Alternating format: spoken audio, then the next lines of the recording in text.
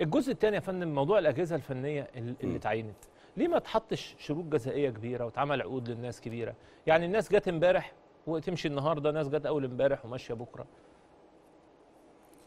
آه، كابتن سيف حضرتك كنت في مجلس إدارة الاتحاد وطبعا آه، ال- اللجان اللي بتيجي أو المجالس اللي بتيجي تبقى ليها رؤية فنية. الرؤية الفنية دي بتبقى نابعة من المدير الفني ونابعة من السيرة الذاتية لل- للموجودين ونابعة من الأهداف اللي موجودة.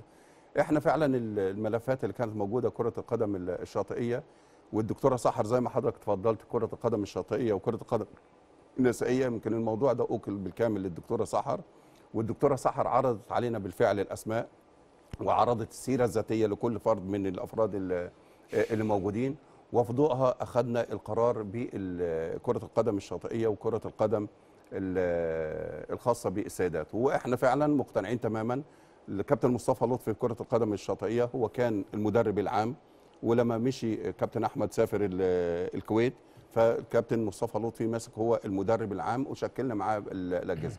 بالنسبة لحضرتك اتفضلت كابتن حسين عبد اللطيف وإحنا قلنا فعلا خبرة كبيرة جدا وكابتن حسين آه، يبقى موجود. بعدين كابتن أحمد رمضان بدراسة السيرة الذاتية إنه كان بيدرب في أمريكا درسنا السيرة الذاتية بتاعته وجي عمل مقابلة مع مع اللجنة الخماسية واتعرضت السيرة الذاتية بتاعتنا ولقينا إنه فعلا ممكن يكون شخص كويس وبدأ تشكل الجهاز بالكامل في كرة القدم ال- النسائية كرة الصالات إحنا جينا لقينا الجهاز الناس دي آه، الجهاز موجود. الناس دي ما اتعملهاش عقود تامنها ليه ما تحطلهاش شروط جزائية ليه أربع خمس ست شهور أرقام كبيرة عشان تعرف تشتغل زي أي مدير فني أجنبي ما بيجي أنت حضرتك النهارده أنا كنت في اتحاد الكورة آه كابتن سمير زاهر كان موجود جينا لقينا برادلي مع أستاذ جمال علام فاكر حضرتك. برادلي آه. ناس من على الترابيزة آه. ما كانوش عايزين برادلي بمنتهى. الصراحة وكانوا عايزين يجيبوا الكابتن حسن شحاتة أنا. بقول لحضرتك كواليس اهي مشي مشي برادلي الجزائي منع. ما تقدرش. آه. ما تقدرش ليه؟ لأن أنت مش هتيجي بجرة قلم تمشي ده وتجيب ده، أنت مش كل شهرين هتغير جهاز وتجيب جهاز. هو المفترض حضرتك أنا أغير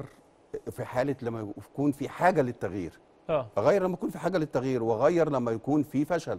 واغير لما يكون في إن أنا شايف إنه ما فيش م- ارتباطات دولية. آه. ارتباطات دولية أو لكن لما أقول أنا كرة مثلا الصالات حضرتك هشام صالح آه. اللي هو الفرقة بتاعت منتخب مصر مصنفة. آه. يبقى هل كابتن هشام صالح حد يقدر يقول إنه فشل رجعه تاني كابتن أحمد. رجعه تاني كابتن. اذا آه، معنى بس كده بمرتب إنه تاني.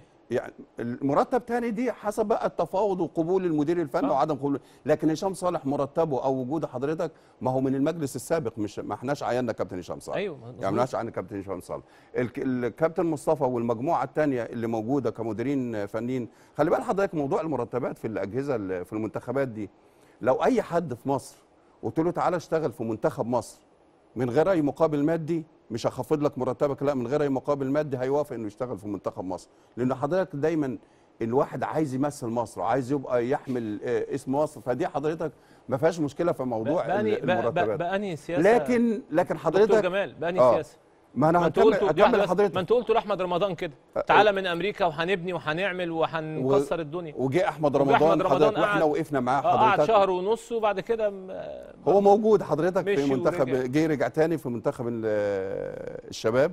يعني كابتن أحمد رمضان وأنا شايف إن هو إضافة كويسة جدا وأنا قعدت معاه شخصيا يعني فاهم كويس جدا وعنده آه. خبرات كويسة وكان بيشتغل في أمريكا فترة زمنية طويلة كتدريب وإنسان كويس. ولكن حضرتك أنا طبعا وجهة نظر اللجنة الثلاثية آه، تحترم حضرتك هم اصحاب ال- القرار في الفترة الحالية. لكن إحنا مقتنعين بالتعيينات اللي إحنا عملناها في ننسى الاجهزه ال- الفنية. ممكن قبل ما أطلع فاصل حضرتك انسى اللجنة الخماسية واللجنة الثلاثية. وانسى المهندس هاني أبو ريدة وانسى مجلسنا.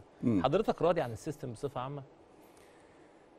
بصفة عامة في منظومة كرة القدم؟ آه. لا طبعا. أنا محتاج طبعا السيستم ده فعلا يشتغل زي ما قلت في البداية نشتغل في نظام مؤسسي نظام بيبني ويطور ورا بعض إحنا شغالين ونكمل إيه؟ بعض. لكن لا إحنا بنشتغل بنظام فردي إن إحنا كل مجموعة بتيجي بترى من وجهة نظرها فقط لا غير ولا ترى من وجهة نظر الآخرين. صح فندم.